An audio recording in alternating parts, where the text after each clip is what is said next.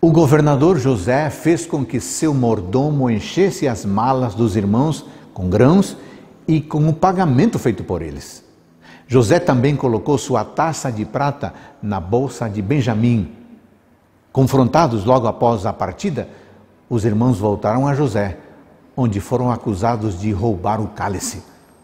Por causa disso, Benjamim teria que ficar. Depois de explicar tudo o que havia acontecido, antes de retornarem ao Egito, Judá implorou a José que o deixasse tomar o lugar de Benjamim. Judá sabia que perder Benjamim partiria o coração de seu pai. Ele não seria responsável pela morte de seu pai. Por isso, precisavam encontrar uma solução ao impasse.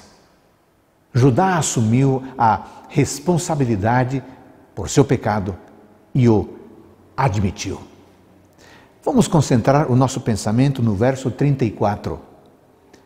Para que não veja eu o mal que sobrevirá ao meu pai.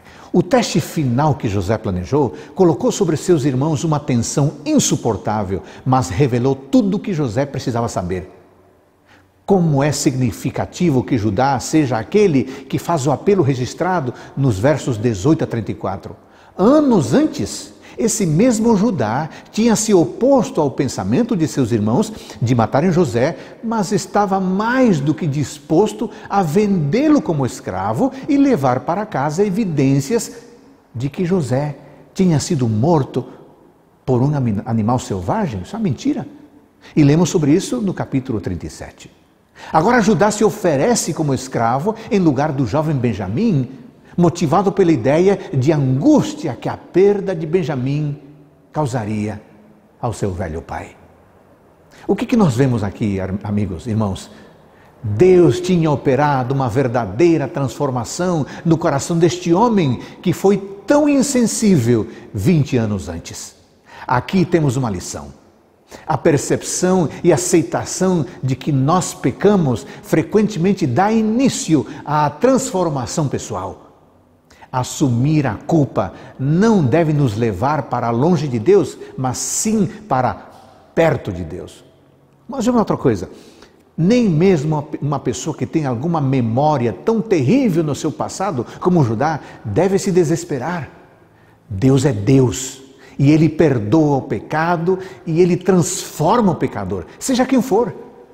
A reação de Judá oferece esperança a todos os que se sobrecarregam com lembranças ruins de pecados passados.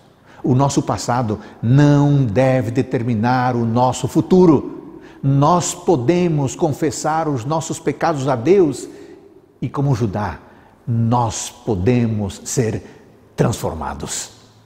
Amigo, que pecado você precisa confessar? Faça isso agora, em nome de Jesus. Um ótimo dia para todos nós.